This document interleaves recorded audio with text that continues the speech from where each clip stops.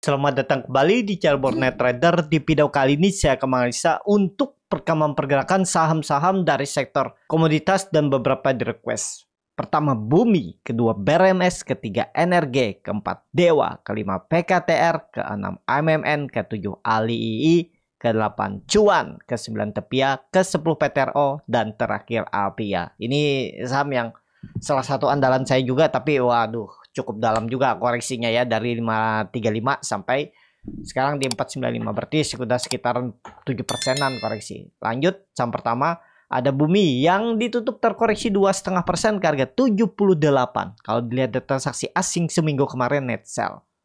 Kalau di broker sebenarnya Bumi di distribusi belum kuat naik.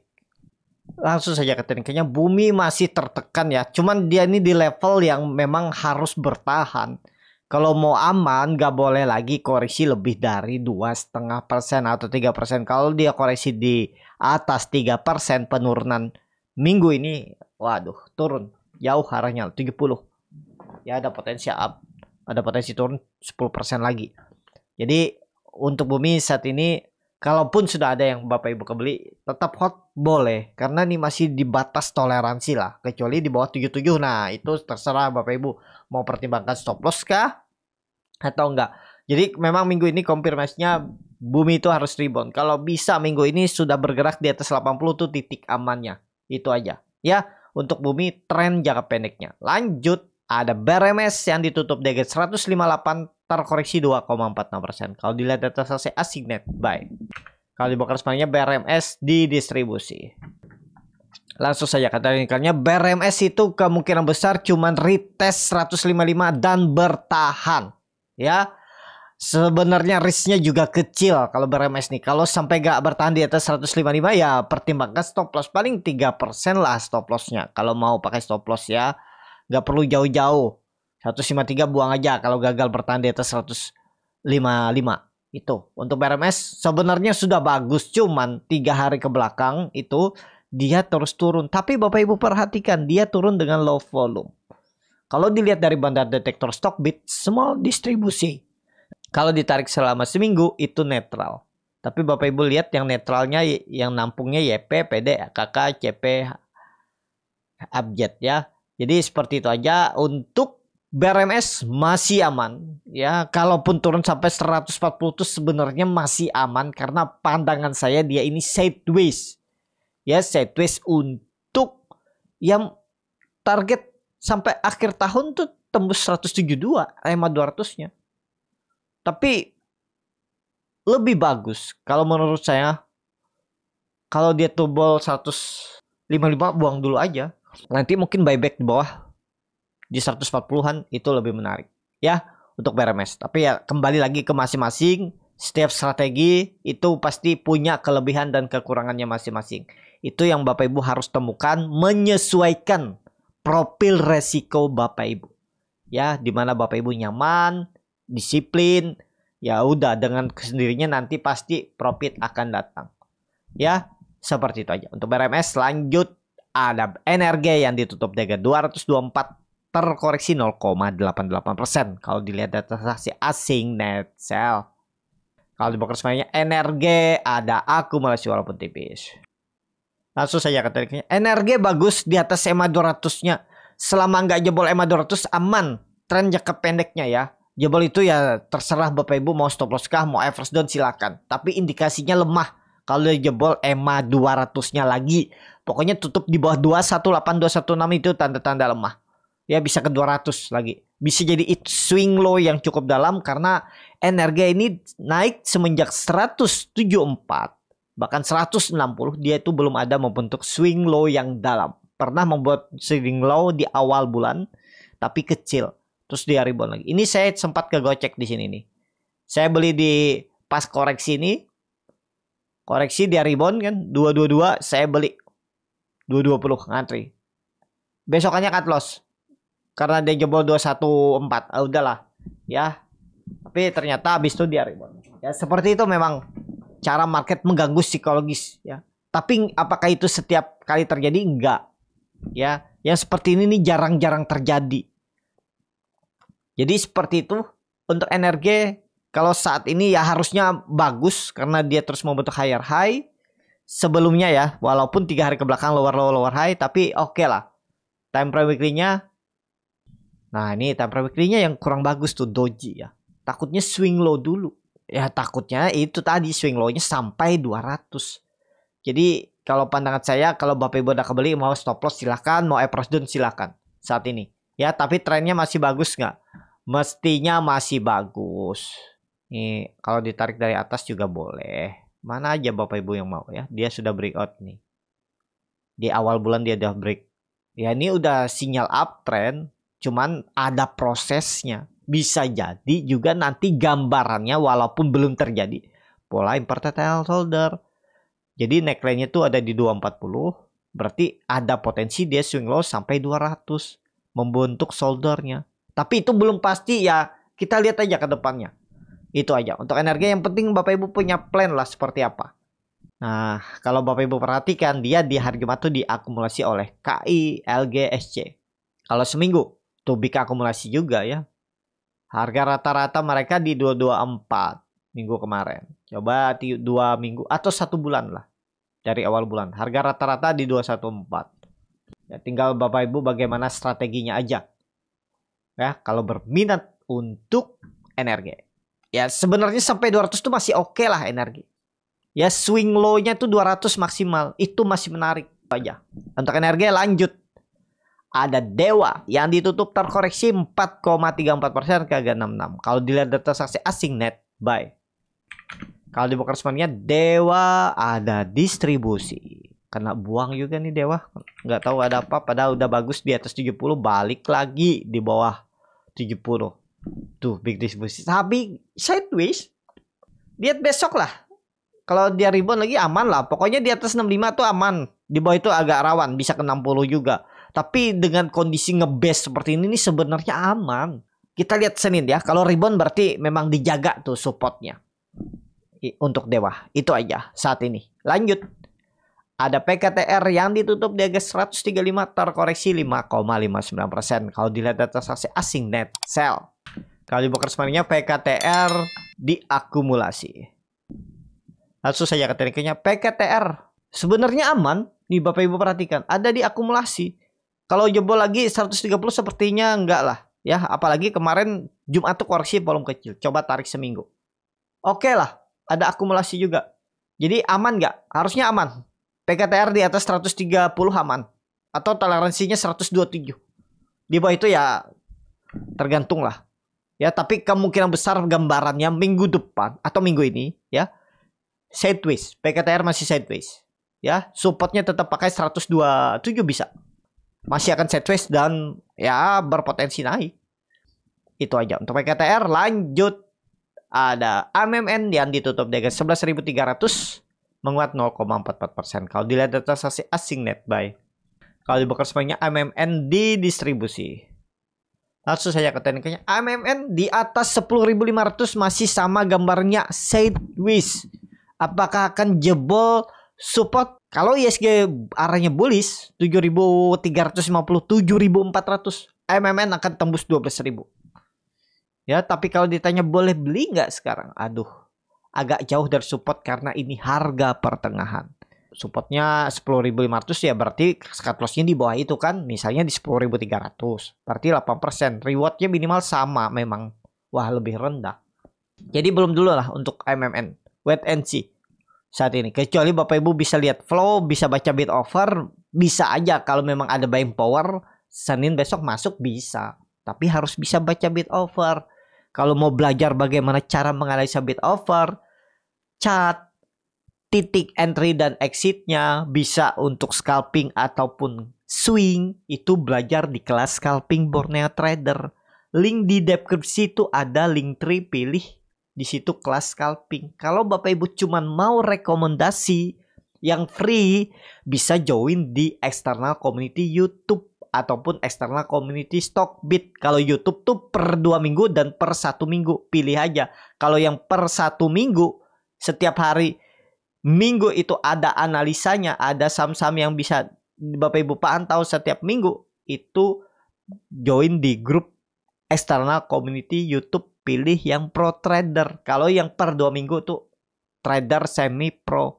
Kalau mau yang setiap hari ada live trade, saham-saham pilihan ada update setiap hari itu bisa join di external community stock bit dengan kode R-nya besar R41778.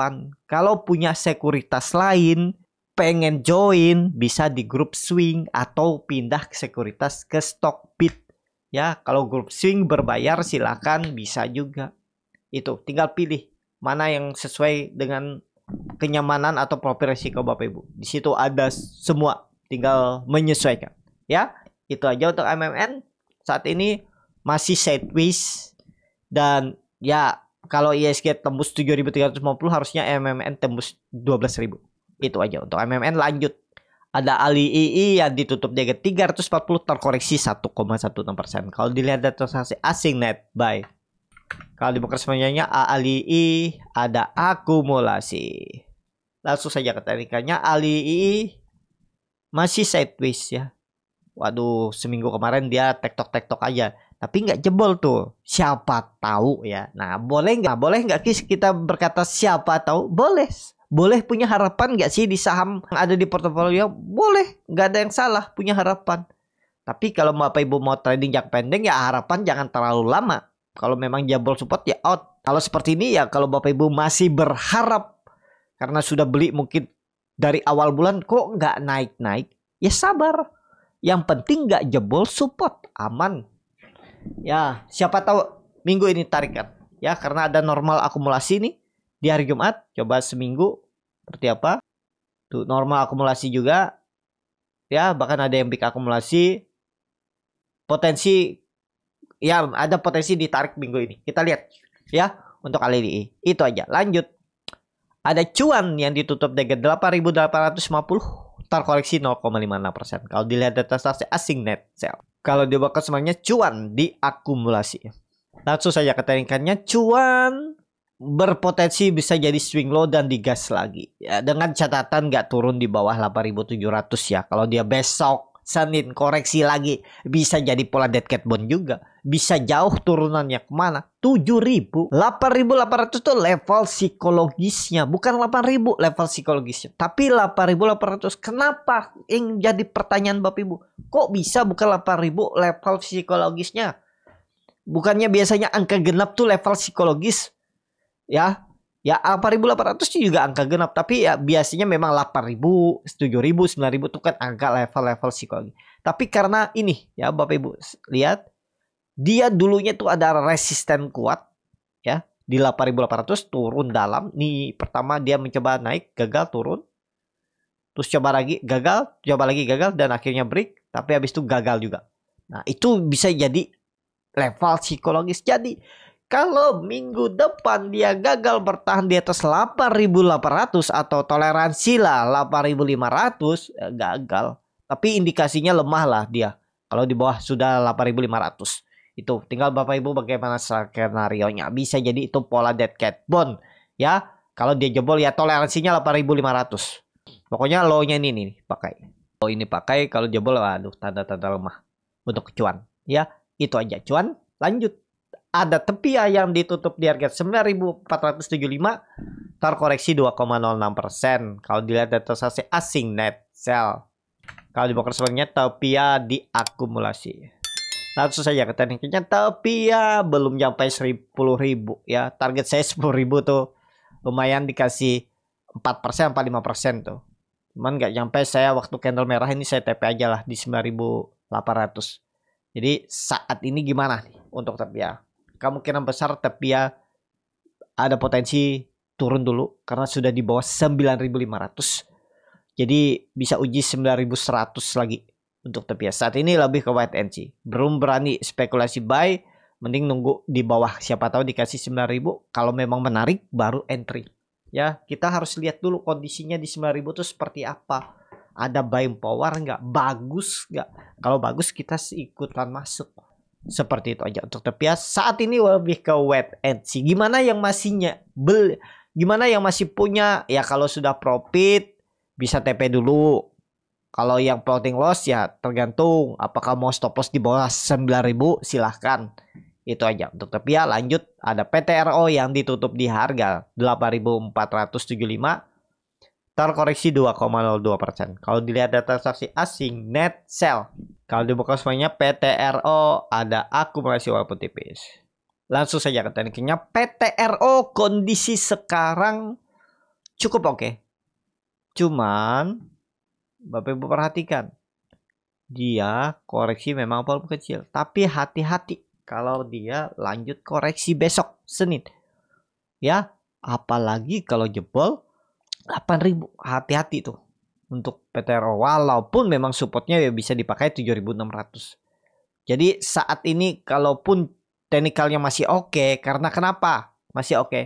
karena dia minggu lalu membentuk higher low dari sebelumnya. Nah, ini bisa juga ya seperti ini ini bisa jadi pola ascending triangle kalau dia break 9200 nanti digas ke atas kan bisa sampai 10000 tuh. Kita lihat aja nanti ya. Saat ini saya lebih wait and see dulu untuk PTRO. Lihat dulu ke depannya seperti apa pergerakannya. Itu aja. Langsung saja ke saham terakhir ada Apia. Ini saham yang ya saya juga kurang tahu nih. Kok di akum cuman ya pelan-pelan turun. Cuman minggu inilah kita lihat ya Apia terkoreksi 0,4% ke harga 494. Kalau dilihat data transaksi asing itu terus net buy Bahkan dari awal bulan asing itu terus net buy. Awal bulan Juli ya. Nah, teman aduh dibawa muntah-muntah nih, di pelan-pelan turunin ya. Kalau dari broker samarinya tuh RX akumulasi terus. RX, OD, AJET kalau nggak salah coba tarik selama seminggu. Tuh, RX akumulasi itu. NI akumulasi coba tarik sebulan. Asing kan akumulasi itu. Tuh, RX AJET, NI JP itu akum dan rata-rata di harga 500-an. Jadi masa sih mereka mau cut loss? Itu aja logika. Jadi kalau Bapak Ibu beli harga sekarang itu udah ideal, udah dapat spare 2% dari harga mereka asing ya. Jadi untuk Avia mestinya rebound minggu ini. Balik 500. Gambaran saya dia balik 500 walaupun memang ada support sandaran terakhirnya itu 480. Belum selesai juga koreksi ABC-nya eh web 2-nya sudah selesai sepertinya cuman ini dia dalam ngebest untuk naik. Bisa jadi nantinya malah double bottom. Perkiraan saya kan bisa jadi cup and handle. Minggu kemarin itu eh dua minggu yang lalu apa? Tiga minggu yang lalu terus swing low dia naik gagal. Ya 5 Juli dia naik gagal. Kena buang lagi. Nah ini bisa jadi double bottom. Kalau dia turun lagi oh udahlah. Itu tergantung bapak ibu. Kalau saya mungkin saya stop loss saja udah. Ya 10% pun ya udahlah. Karena target saya Apiania 750. Kalaupun ternyata skenario saya gagal dan cut loss 10% ya udah itu bagian dari trading karena target saya tuh 20, 30, 40% kalau naik. Tapi kita lihat minggu ini ya konfirmasinya balik 500 aman ya. Jangan sampai jebol 480 untuk Apia. Kalaupun Bapak Ibu beli harga sekarang itu dapat harga murah. Ya, untuk apa ya? Kita lihat minggu ini. Itu aja. Cukup sampai di sini video kali ini. Terima kasih untuk Bapak Ibu dan teman-teman yang sudah menonton video ini sampai selesai. Apabila channel Bernet Trader ini bermanfaat dan bisa menjadi bahan pertimbangan Bapak Ibu dalam membeli, menyimpan, dan menjual sahamnya bisa klik tombol subscribe dan nyalakan loncengnya. Ada kritik, saran, ataupun pertanyaan bisa langsung tinggalkan di kolom komentar. Bagi Bapak Ibu dan teman-teman yang baru belajar trading, masih bingung memilih saham, bingung membuat trading plan, bisa join trading bersama Borneo Trader. Nanti dipilihkan saham-sahamnya dan dibuatkan trading plan-nya beserta chartnya dan juga free konsultasi portfolio. Kalau tertarik, DM Instagram Borneo Trader. Sampai ketemu, tetap semangat dan semoga bisa terus cuan.